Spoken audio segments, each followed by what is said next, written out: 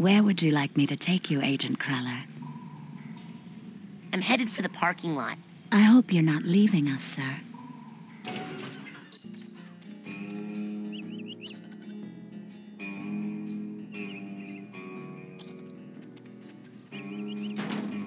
Keep your mind and campgrounds clean, or else get a rake in your ear. Ranger Cruller.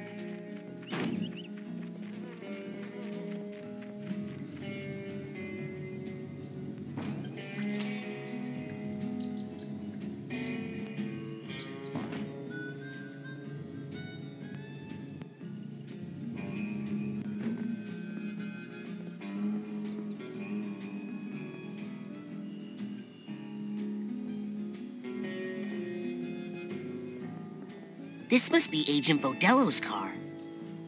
Just as well, she would have killed me.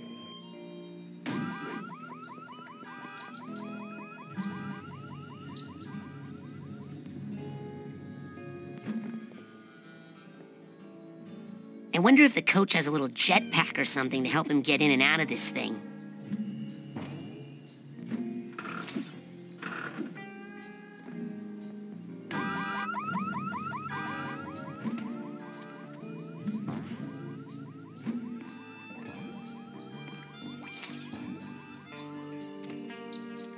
Man, this thing was old when they chopped it down. Let's see. That's in case you were thinking about getting back up again, tree. They must have fireproofed this thing. Man, why don't they trust us kids?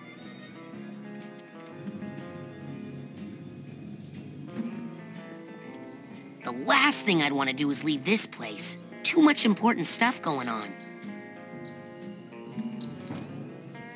Goodbye, cruel camp. I'm tired of being picked on by Bobby and all the mean kids at camp. If I just had one friend here who was nice, then I would stay. But you're all mean and no one stands up for me, so I'm going home. I'll be in the parking lot waiting for my dad, so if you want to pick on me one last time, you'd better hurry. Maloof.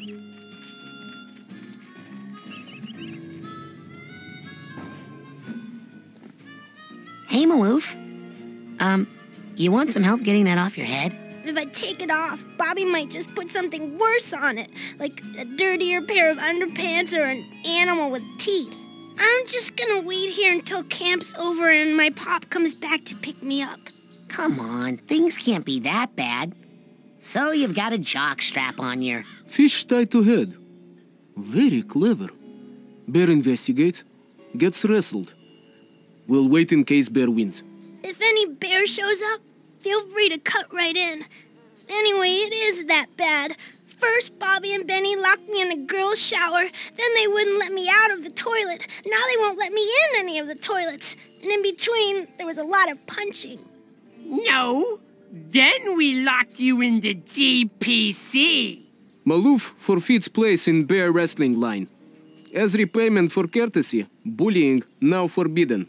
All bullies acknowledge, please. Get bent, Kami. I'm gonna take your. Call next move Deadly Nelson. When screaming starts, eyeball may pop out of bully head. Standing back suggested. Okay! I won't touch him! Jeez!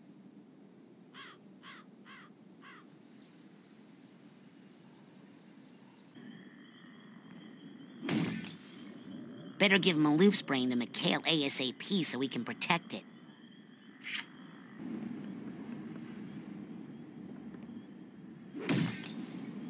Welcome back to the thinking world, Mikhail. So, as you can imagine, we are in some bad trouble. Sounds like it's time something bad happened to our fine coach. Well, let me tell you what our plan is. Please, you have your plan, I have mine. But Say no more. that's a good question. But I didn't taste it, so I don't really know the answer for sure. Well, if Brain Tank come after Mikhail, it will be sorry. Better go find Tiny Boss, see what is plan.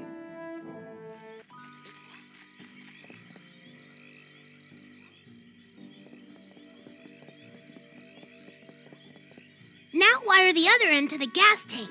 Oh, hello, Rasputin. What are you guys doing? Taking care of business.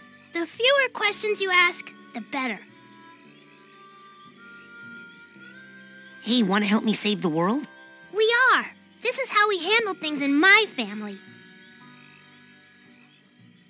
Yo! Shall I come out and hurt people? No, keep working.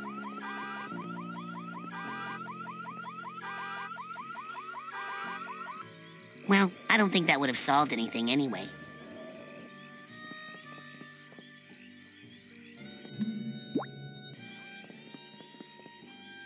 I'd like you to meet Mr. Pokeylope.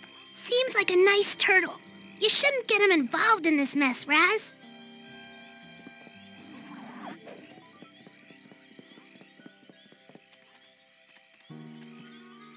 Man, this thing was old when they chopped it down. Let's see. 500 years ago, enormous titanium-bearing meteorite strikes the Earth, leaving a giant crater. 200 years ago, native inhabitants begin making arrowheads out of the titanium, which they call by the name Whispering Rock. This is a rough English translation. 100 years ago, prospectors and settlers take over the area, naming their boomtown Shaky Claim. 99 years ago, first case of paranormal hysteria diagnosed in Shaky Claim. 75 years ago, Houston Thorny builds his Home for the Demented to deal with the insanity epidemic.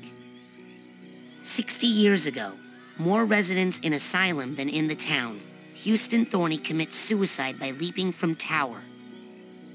55 years ago, asylum closes.